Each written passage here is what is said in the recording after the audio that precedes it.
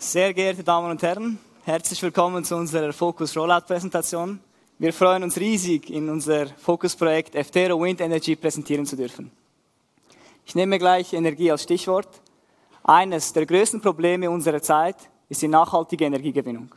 Die Menschheit braucht mehr denn je saubere, erneuerbare Energie. Wind ist genau solch eine Ressource.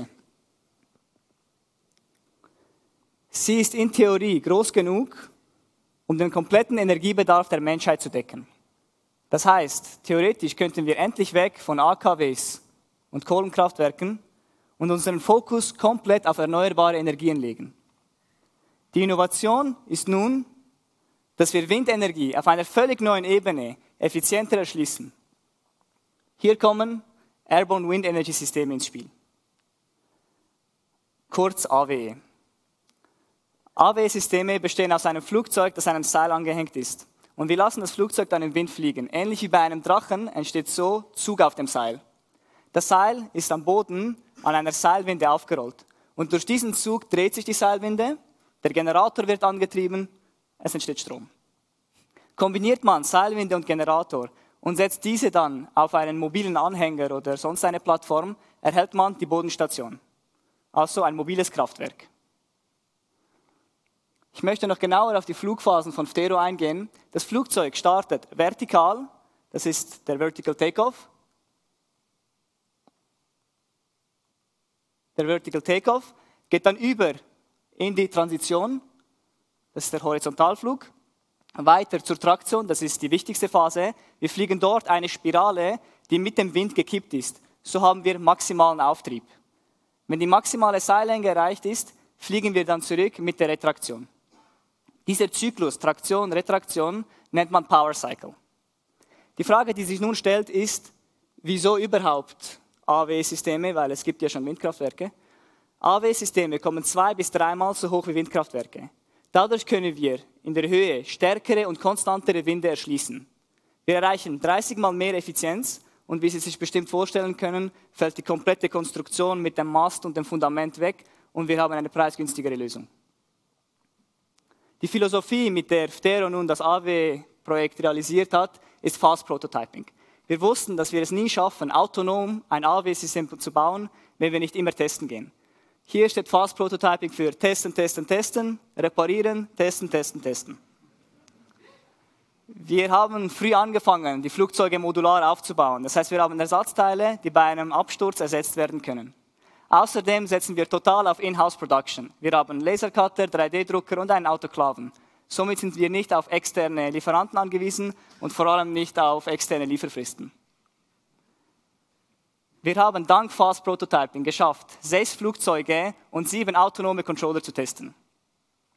Wir sind 30 Mal aufs Feld gegangen und sind 141 Mal geflogen. Ich bin ehrlich mit Ihnen, wir sind 28 Mal abgestürzt. Aber das Faszinierende kommt jetzt.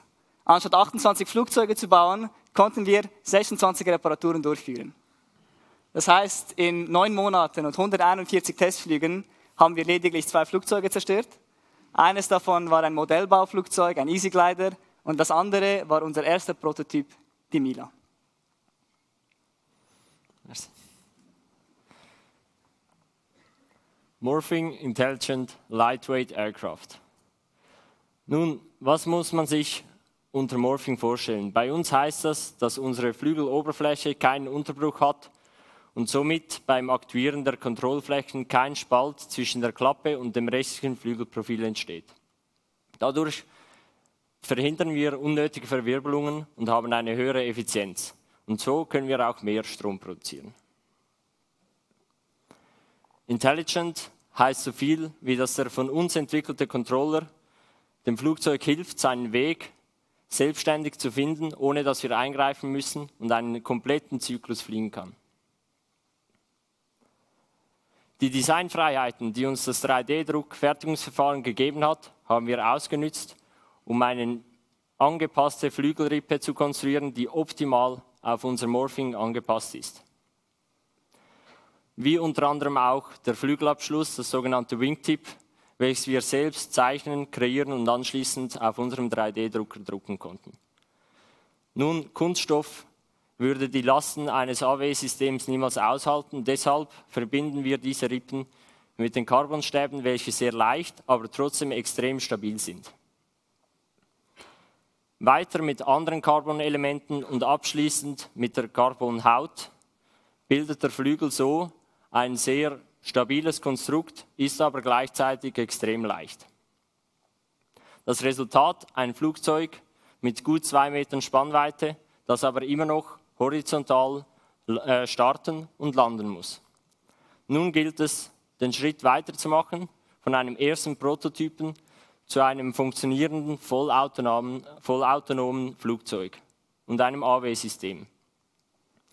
Wir haben Milena gebaut. Morphing Intelligent Lightweight Extendable Novice Aircraft. Extendable, nun wir haben die Spannweite auf ganze 4,6 Meter erweitert. Das haben wir realisiert, indem wir, wie hier zu sehen ist, Ansteckflügel gebaut haben, die wir wiederum modular austauschen können, was unser Fast Prototyping nochmals unterstreicht. Der Flügel wurde auf rund eine halbe Tonne äh, Zugkraft vom Seil ausgelegt und auf die gleiche Art und Weise gebaut, wie ich das vorhin erläutert habe. Mit diesem Flugzeug stoßen wir nun zu allen anderen AW-Systemen und tragen einen Teil bei der Forschung dieser neuen Energiekraft bei. Hier nochmals sehr prominent zu sehen sind die vier zusätzlichen Rotoren. Diese benutzen wir, um vertikal zu starten und wieder zu landen und reduzieren dadurch das Risiko in diesen kritischen Phasen. Nun, bevor wir euch zeigen wollen, was wir alles geschafft haben dieses Jahr, möchten wir ganz herzlich unserem Hauptsponsor, der BKW, danken, sowie all unseren weiteren Partnern und Sponsoren, sowie dem CEMAS Lab, Professor Ermanni und unseren Betreuern. Ohne die wäre das alles nie möglich gewesen.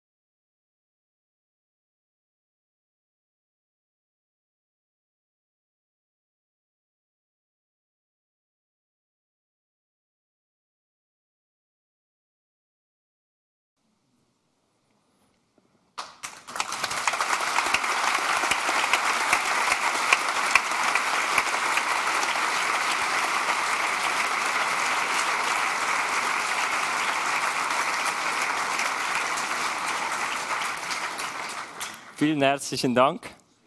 Letzte Woche haben wir das erste Mal Strom produziert und sind mit unserem großen Flugzeug geflogen.